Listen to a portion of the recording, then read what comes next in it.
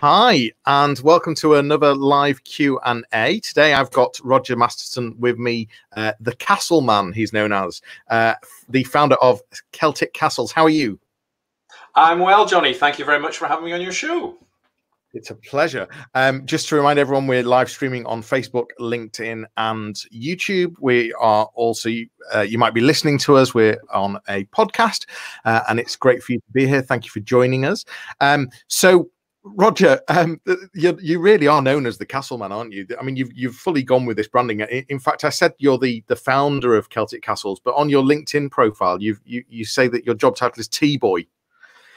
Uh, well, I'm I'm not into hierarchy, which is really the message behind that. And uh, to be fair, I don't make a lot of tea in the office, but I do make tea.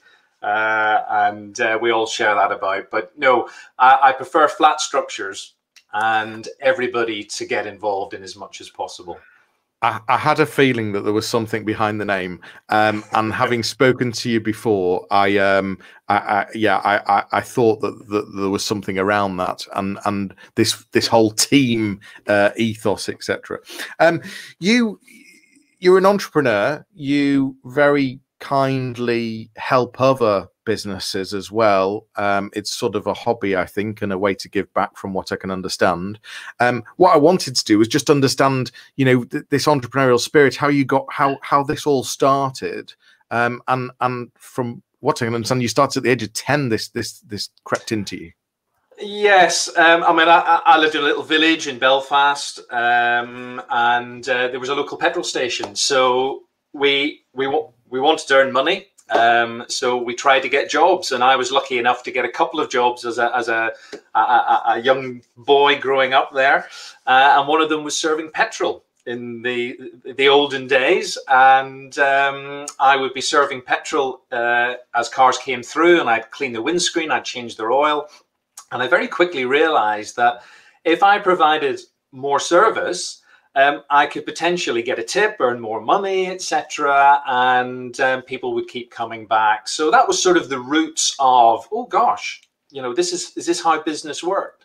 I also did some crazy stuff that uh, we worked for a local farmer called Dickie Simpson, and we'd get a pound a day for bringing the hay in uh, at the end of the summer holidays, and, and it wasn't great money. Well, I suppose it was all right money then, but it was a long day's work, heavy work. And then um, his his sister would come out with lunch, so we'd sit for an hour and, and have this beautiful homemade food amongst the bales. So that was another thing I did.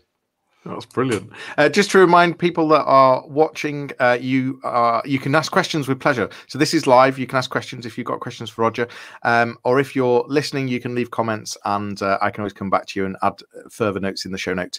Um, so you started out uh, in the petrol station it gave you that entrepreneurial i mean i mean yeah I, I, hear what you're saying it taught you about is is this how business works? You give more yeah. you get more money back. I mean that's that's an interesting concept isn't it?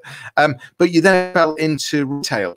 So how did how did the M&S job come out well, um, in my sort of teenage years, I also set a couple of other businesses up, a window cleaning round and whatnot, and and and then eventually sold that. But um, I wanted to get away from Belfast, um, uh, and I was looking for a for a job to do that. And sort of, you had two routes. One one was going into the forces, and you would do well there, but that was staying at home. And I wanted to get off the island. Not that I dislike Ireland at all. I love it, and any opportunity I have to get home, I want I want to get home. But um, I was lucky enough to get on the uh, Marks and Spencer Young Management Training Scheme and went through that. And that sort of uh, was stimulated from a guy at school who'd done it a few years beforehand and just went on a store trip and thought, oh, this is great. And this retail idea uh, started to come through. My parents um, uh, had bought a retail uh, confectionery and tobacconist shop. So I was interested in it from then and worked with them. And um, I wanted just to take it and, and learn a lot more. So that took me uh, to Swansea, where I started in my first M&S store, and, and went down the commercial route of uh, you know selling on the shop floor and then opening new stores and, and working abroad with them. So uh, I learned a lot in M&S um, about you know how to market and place product. Although a lot of it was being part of a system, which I think you'll be aware of with your retail background as well. Yeah. Well, I mean, you could go to university and, and do some sort of business studies. You could do A levels in business studies, but I I think you'd agree um, that getting training on the job training in an organization, I, I'm not sure you can beat that. Is that is that fair to say? I, I, would I would say so. In fact, the reason I didn't go to university is I didn't have the confidence to do that, um, and um, I wasn't academically gifted. I mean, if you'd read some of my school reports, you'd be hor- horrified at what people would say. Um, and um, learning on the job for me was, was was what made a difference. But also, it was working in teams, and you learned a lot about how not to do stuff as well. Um, although you had this system, you could challenge it. But we worked very, very long hours in retail and uh, we had to put up with a lot. But that gave me a very, very solid grounding on, you know, tips and techniques and the questions to ask and, and how to understand how sales changed and what you could do to affect those.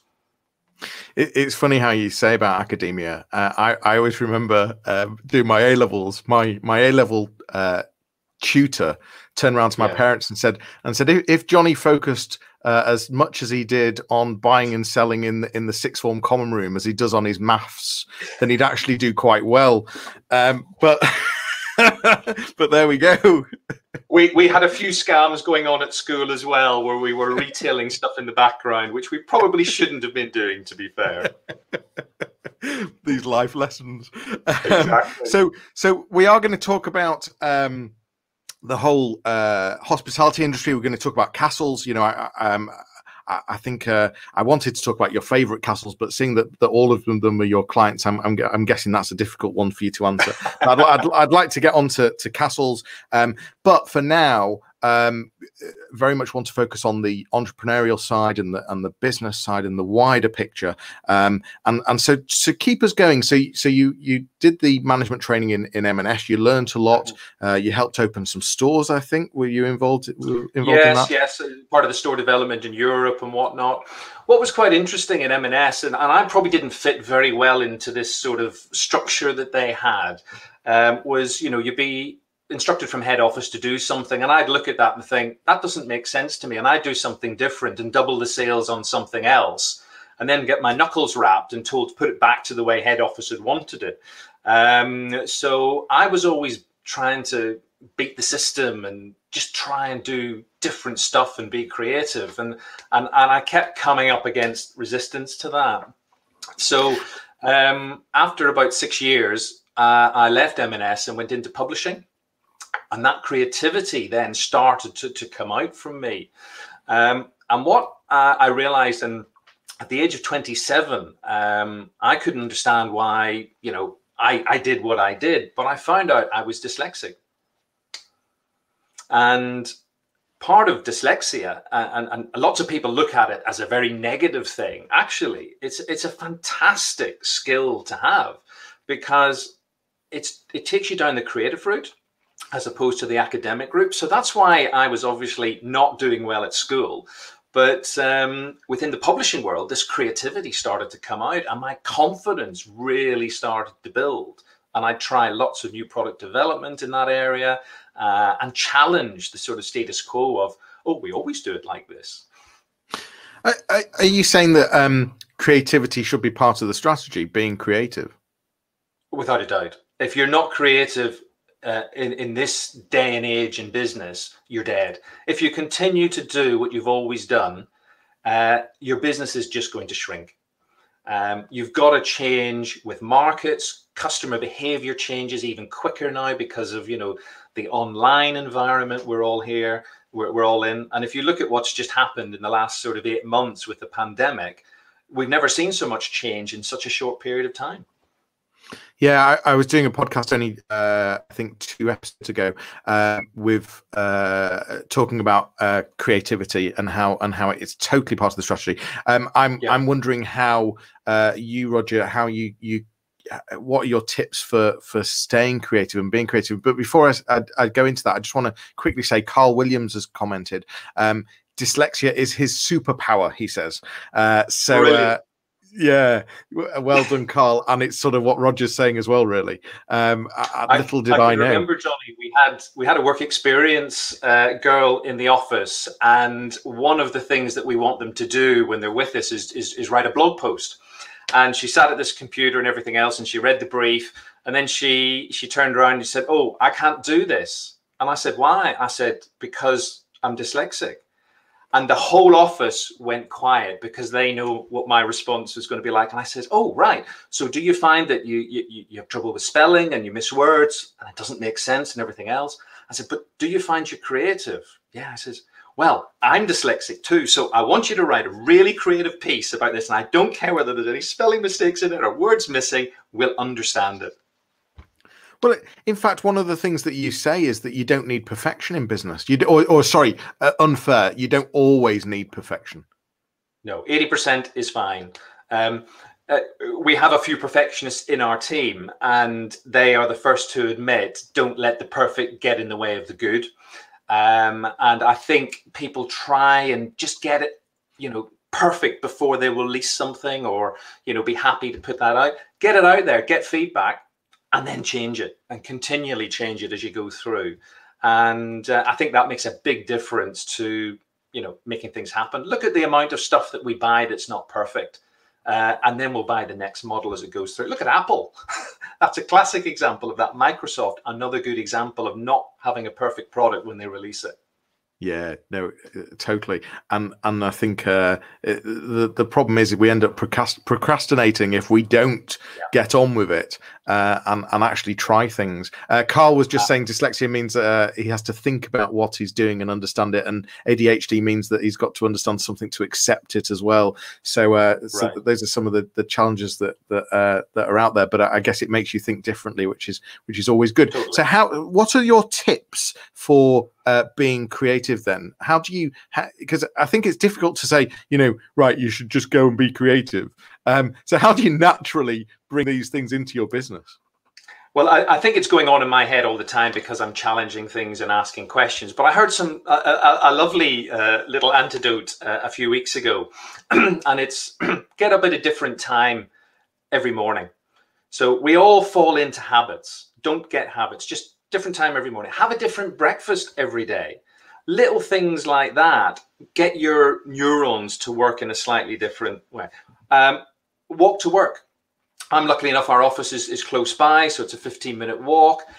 I don't walk the same route every day. I'll walk a different route. You see something different, and that just stimulates another thought. So, creativity is also about giving yourself time. Um, one of the things that I do and I really enjoy is meeting other business owners, not so much now during lockdown, but then saying, listen, can I come and have a morning with you in your business? Come and show me what you do. And I'll go around and I'll hear and, and watch what they're doing and see, can I take something from them or can I share something that we do? And that just gets the brain working in a different pattern, I would say. But if you feel you're falling into a habitual sort of process, cut that off straight away and do something different, and creativity will follow. Yeah, I like I like the idea of getting out of routines uh, because mm. I think mm. routines can can stop creativity, uh, and, and so I think that's a, a, very good bit of advice there. You moved from retail into uh, publishing, um, and um, uh, and and I think one of the biggest gaps you noticed, you know, you, are naturally disruptive. One of the biggest gaps you noticed there was, hang on a minute, guys, everything's going online. Is it what was the story there? What what what what happened? Well, it was my MD at the time, and he had uh, a, a, a, one of the first published books about the internet. And um, I just said, "Oh, can I borrow this?" Went home and read it. I thought this internet thing, this is this is interesting. And I was sort of getting into technology. And I taught myself how to use spreadsheets and type and whatnot uh, when when the secretaries were away, um, and I could grab one of their machines. But um, I just got all the editors uh, together and said, "Listen, we need to start thinking differently." And their response was, oh, gosh, no, it's not going to change. People will still buy newspapers. And of course, they did for a while.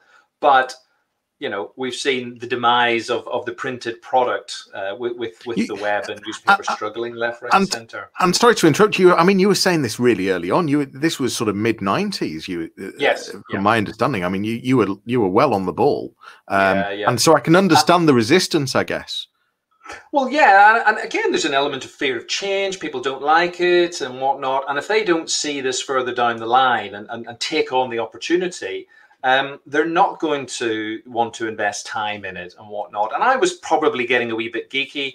I was working away from home through the week. So what I would do is I'd get online and just start to understand how this works. Hang on, I can connect here and see something in New York and everything else.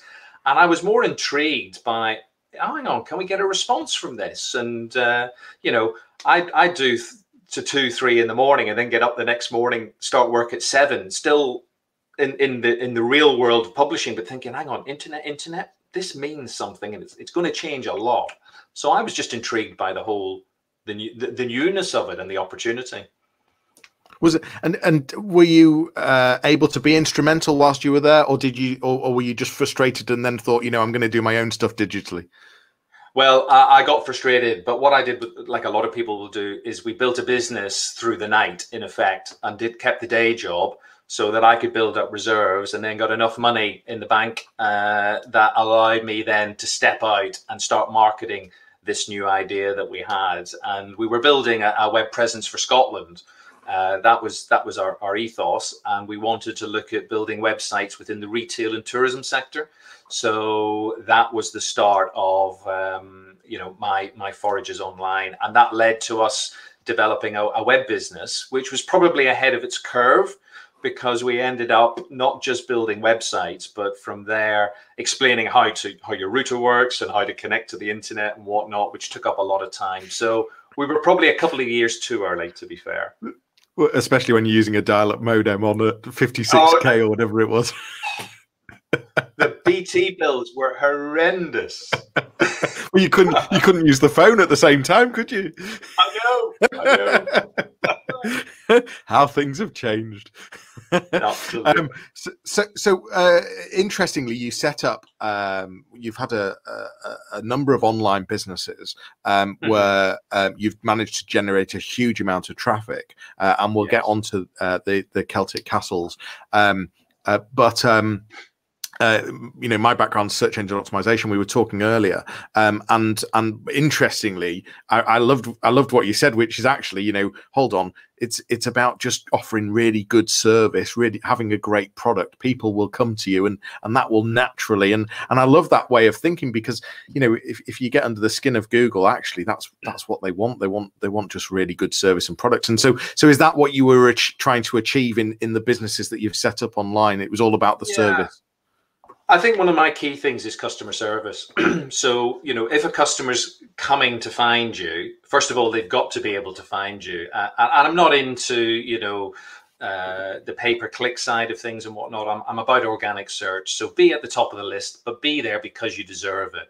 Um, and yes, you've got to understand SEO and, and, and all the, you know, the gubbins that go with it. Uh, but when they come onto the website, it's about servicing. And, and my whole focus uh, in, in, in everything that I've done from a business perspective is if they can find you uh, and you can be referred and you're providing a, a good level of service and they want to come back and, and share that, then it will be a success. It might not, you know, just happen overnight. It might take time to build that up, but it's word of mouth, it's word of email um, it's customer feedback, it's all those basic things that people then refer to others. And if I go sort of to the Celtic Castles ethos, um, if somebody says, "Oh, I quite fancy staying in a castle," I just want two responses. Oh, have you seen the Celtic Castles website? Or oh, you must speak to Roger, the castle man. Uh, and if we get that, we know we're doing something different. So referral for me is really, really important. But you've got to get the basics right so that those referrals start to come through. I mean, uh, let's go to, to Celtic Castles. You've set up a, an award-winning uh, castle booking company. Um, what, uh, what, was your what was your fascination in castles? Uh, it came from bad service, Johnny.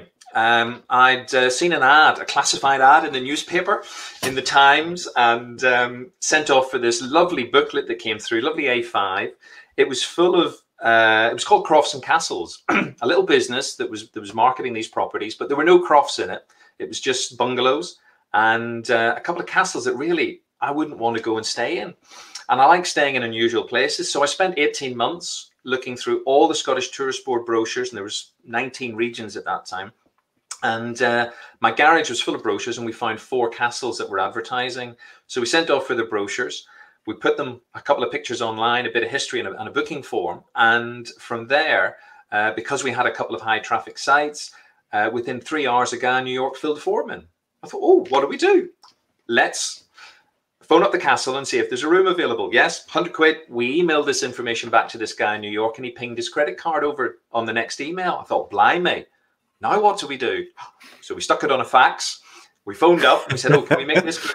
blah, blah, blah. And uh, we asked them to take the money, and they said that's fine. And from there, uh, as I was putting the phone down, I just said, "Oh, normal agent's commission," and he said, "Fine." And I, and I put the phone down, and I just wondered where did that come from. Uh, and that's literally how Celtic Castle started. And these four castles had more business in four months from what they thought was an advert. And we thought, hang on, we've got something here. Um, and our premise at the start was fastest back and service, as much knowledge as possible, even if we had to scrap around and find it when the inquiry came through, and we're selling at the same price. And then very quickly, they just kept telling their friends. And this was when the Americans were using email the way we use texts. So this was just getting shared. And that was the start of, and we called the business uh, then Stay in a Castle in Scotland, which is a rather long URL. when did it get rebranded then? Well, I'm from Belfast, so that's the Celtic bit. Castles. We, we got together and we were under the stairs beside the washing machine and the fridge freezer. Uh, and, a, and, a, friend of mine uh, devised a, a, little logo, and we said, "Yeah, that looks good," and we've kept the name ever since. So, so what area does uh, Celtic Castles cover then? The, that website. Well, we started off thinking there were just castles in Scotland, um, and then we realised actually there's a few in different parts of the UK. So we focused in, originally on the UK only. Um, and we just built it up. We started in Scotland, got about 40 castles in Scotland, then moved into Ireland, found a few in England, etc. But our strategy is, is quite interesting because we don't go to the castles and say you should be on Celtic castles. Because we're in the internet, we wanted them to be in that uh, arena as well. So they had to find us first and then connect with us. Now, what they didn't know is we'd probably been to stay already. We knew this property, been watching what it was doing. We measure the feedback they get. So we know whether we want them or we don't want them, but we don't knock on their door to say, be part of us. Because again, strategically, if they want to be part of us, we can work better with them. And the business is about knowledge and relationships. We use technology to drive and, and let people see this stuff but it's about what we know behind the scenes that helps convert the sale for the properties. Yeah, so I mean that's a, a, great place to be if you can uh, get drive that demand. Uh, Alex Goldstein just commented uh, exactly that, Roger. Client service and word of mouth is key. Uh, I mean, customer centric marketing. You know, I think is really important. Yeah. Being having the customer at, at, at, the focus. So, so you talked about uh, feedback. How you, you how important is customer feedback? Well, it's interesting because, you know, I, I, look at failure as feedback. You know, we were talking about 80% earlier on. So failure is a great way to improve stuff. Uh, and we have failure as a, as a negative connotation in the UK in business and, and in life in general. Education, it starts with and then takes us through the rest of our lives. But feedback is, is, is just, it's one of the nectars of business. Um, when we look at our process, I want feedback about our service. So once we've uh, you know put a booking in place for a client, I want to know what they thought about Celtic Castles. Then you want feedback about the experiences that they've had when they're um, coming away from the castle, and those two elements then come together. Uh, it's quite interesting. There's a lot of press at the moment about false feedback and you know the reviews that aren't real, etc., etc. Um, we, we, we see everything as it comes through and we monitor that and we use that then to improve everything that we do.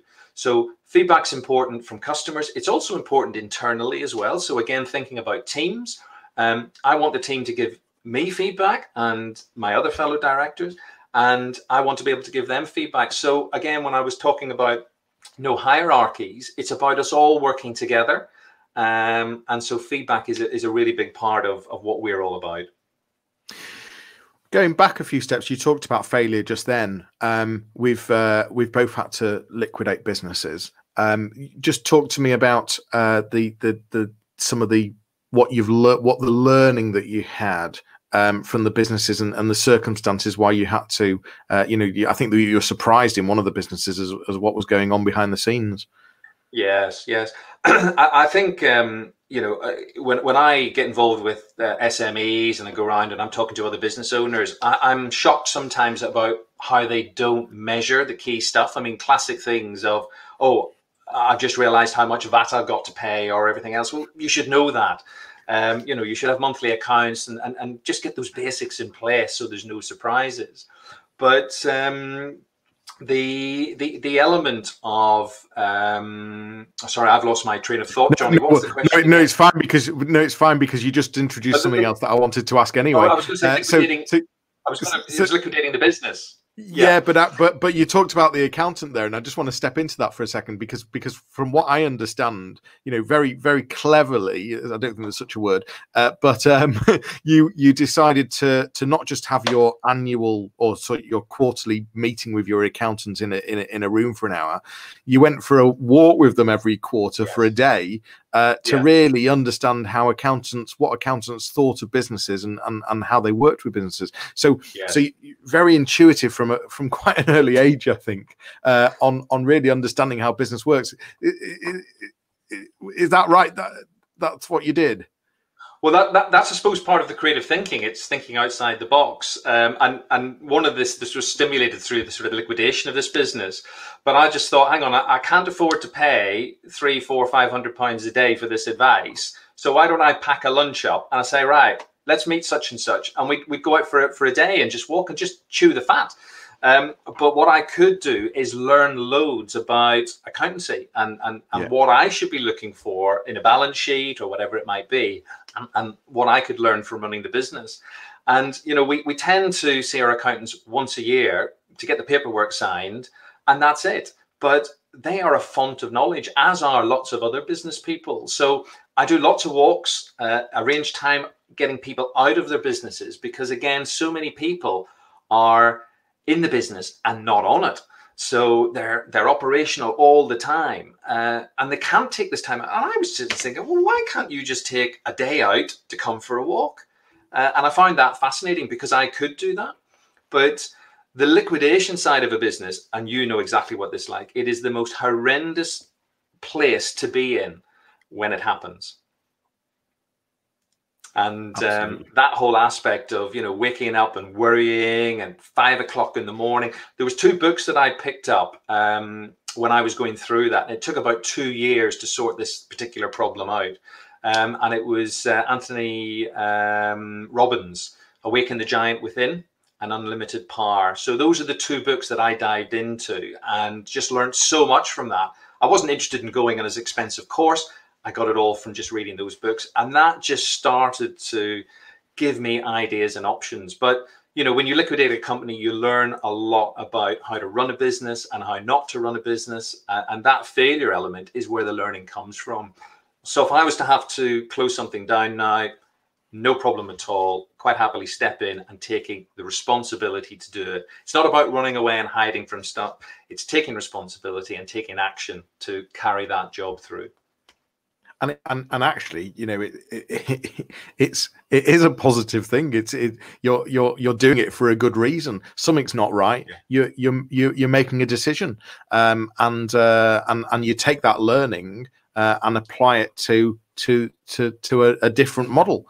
Um, yeah. So uh, so I think I think that's that's really important. Uh, you know, I think one of your tips you had it, it's very simple, but you talked about taking people out of the business, but even even if you're sort of having a meeting, just changing where when you have a break, changing where people sit in the room, yes. uh, really simple, but it changes the routine, uh, mixes it up a bit, and, and just gets people people thinking.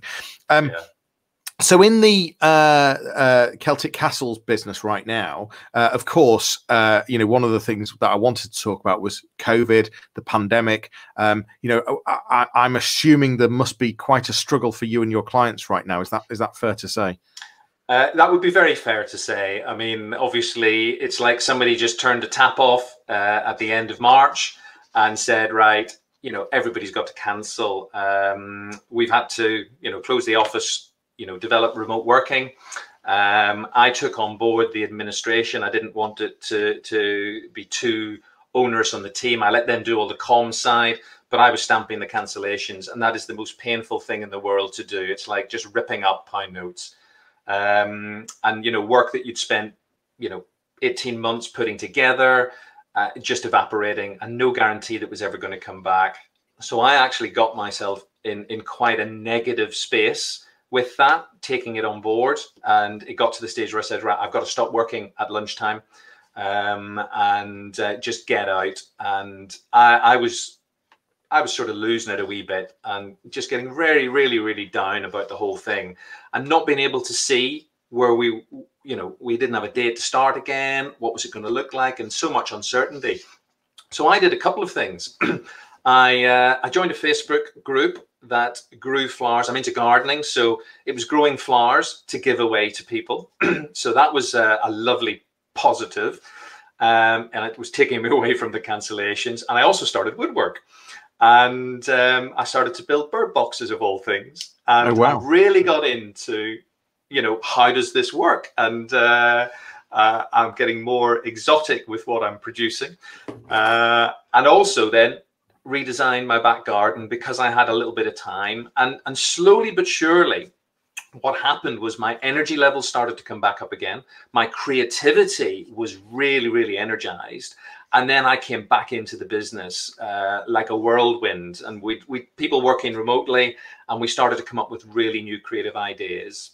So we introduced 300 new castles, and I flipped an idea that I had in my head because we wanted experts in countries. I said, no, let's change that. Let's go and get the countries working with bookings coming through, and then we'll find the experts.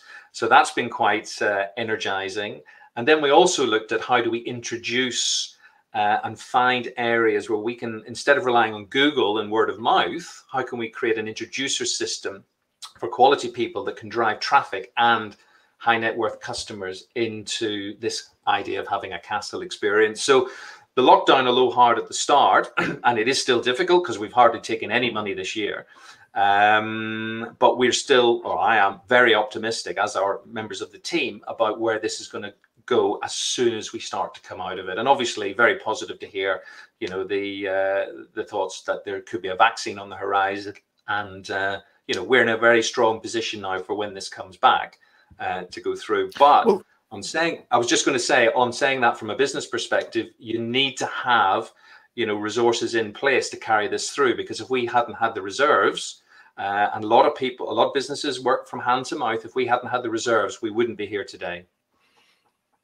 It, it, it's about having a, being able to have a strong recovery, isn't it? And and yeah, yeah. you need those you need yeah. those reserves to be able to achieve that. Uh, I mean, I guess that that you, have got a quite a strong value set, and and and in in fact, very strong in uh, businesses have visions, values, missions, um, and, uh, and, and to just tell me more about your value set and, and I think I think probably how that's helped you ensure that you had reserves.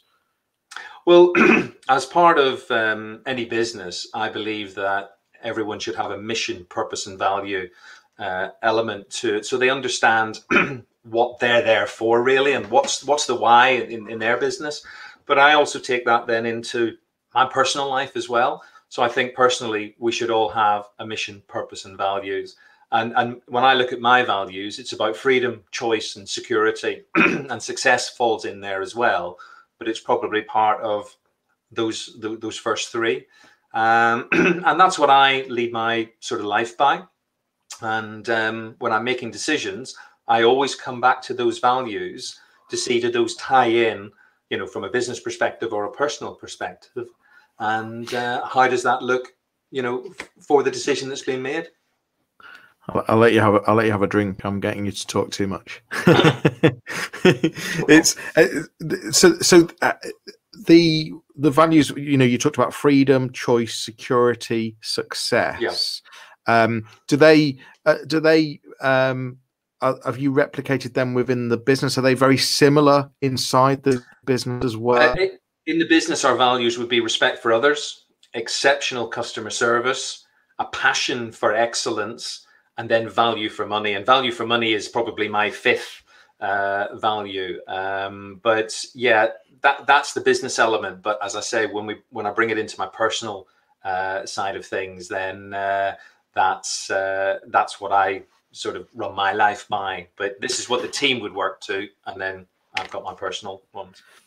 How are you managing to keep the team engaged and you know, it must be a very difficult time. I, I guess you're using things like furlough, um, but um, but you know, I, I guess, well, you, they, that was running out until very recently. Um, yeah. So how do you how do you how are you how do you keep the team? I mean, you know, is the answer just money, or is are you doing other things, or, or just sort of hope? And uh, what's the how are you keeping that ethos going? Um,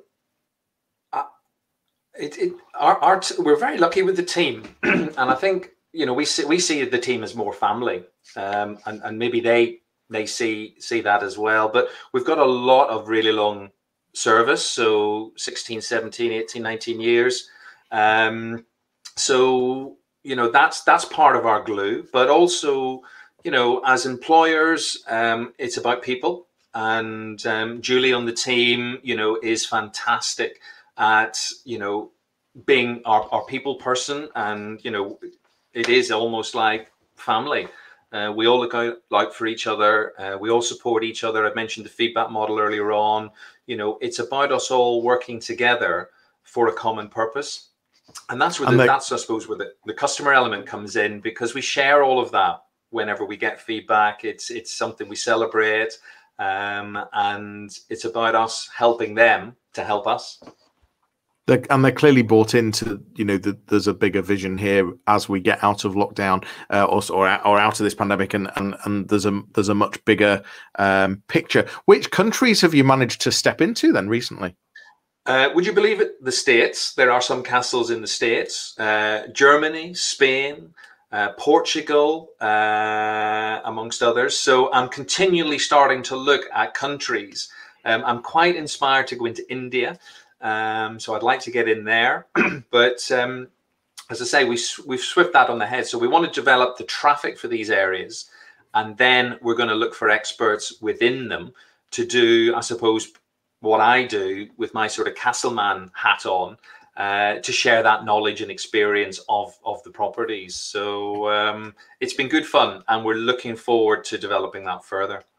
Is it, is it possible to even describe what it's like to stay in a castle?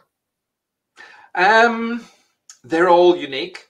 They're totally different. I mean, I I love staying in them just for the experience. And of course, I suppose I've got that other thing that I want to be able to share that with customers that I speak to. But you know, I'll get up at four in the morning and just sit in the Great Hall um, and, and and just wonder, gosh, you know, what happened here 400 years ago, etc. You see how people refurbish them. I was in the Duke of Devonshire's um, castle for three days. Um, and this is Lismore Castle down on the banks of the Blackwater River. And, um, you know, just just being in that and pinching myself saying, am I really here? Um, you know, it's it's it's it's a wonderful privilege to have the experience and be able to share that. Um, but also meet the people behind the scenes who own these properties, etc. But every experience is different. It could be top end luxury, it could be down to the fact that there's no electricity and no running water, and all you've got are candles and a flower. I mean, those are the two extremes that, that, that we deal with. And they're brilliant for all different reasons. I I, I, uh, I, highly recommend checking out Celtic Castles for uh, for when uh, things reopen uh, and, uh, uh, and, and seeing some of the great places you could stay. Um, you you talk about um, I mean you've clearly got a you know a huge enthusiastic approach to to business and and and helping people. Um, put the right things in place. You talk about uh, making sure that you measure things and and and uh, constantly sort of checking things. What are the what what do you mean by that? What are the key things that we should be keeping an eye on or thinking about um, and and being sort of having our finger on on the pulse with regard to to measuring? Um, I think if you're running a website, um, we're looking at the sort of key volume stuff coming through, but but for me, it's not about every detail. What I want to know on the website is how many forms have been filled in, um, the amount of communication between those, uh, and then the conversion rate. So that's our sort of KPI. Um, if you're looking at the statistics in the business uh, from the accountancy side of things, it's cash flow, it's you know, are people paying on time, uh, etc., and just understanding the key parameters, and you know, spend time, go on a course, read read a book about it, and understand what are the key parameters that you need to look out for. Um, and you can spot a lot on a balance sheet that will you know lead you to you know think about the right stuff further down the line and it might be six months away but you picked it up in, in, in march instead of august. Um, so it's about getting easy measurable stuff. Don't go ott on it. I mean i've been in, in publishing and you know seen office fulls of statistics coming out nobody ever looking at them. Get stuff that works for your business uh, and, and keep it simple. I'd worked with a, um, a photographer once and just got him to uh, itemize where he was spending his time what revenue was coming in and the markets that he wanted to get into. And just by analyzing that on a spreadsheet over a couple of months, he was able to refocus where he put his energy and increase the profit he was bringing in on his business. And that's a key element. Know where you make your money so that you know where to put your resource. Every business, you'll get 80% of your revenue from 20% of your activity. So understanding where that activity is to generate the most profit is important and it's worth taking time out just to understand that. Yeah, it's very important. Um, one of your values is, is freedom, and um, and you do get time to sort of sit in the garden and, and be creative and think, and and, and that's something I really enjoy, and, and going for walks, etc. How, how have you managed to achieve that in the business? Is it is it through putting processes in place? What's the what's the is, is the one thing or is there, is there something that you can say this is what helped me have freedom from my business to be able to stand back and, and trust that they can just get on with it I think you've got to have a strong team to start with. They need to be trained. Processes are important. Um, them understanding the responsibility. We, we, we have monthly one to ones with our team members so that they understand the projects that they're involved in and, and their responsibility within the business. Um, for me, it's actually uh, about not being involved. I love to dive in, helicopter in, really get into detail, look at it, and then step out again.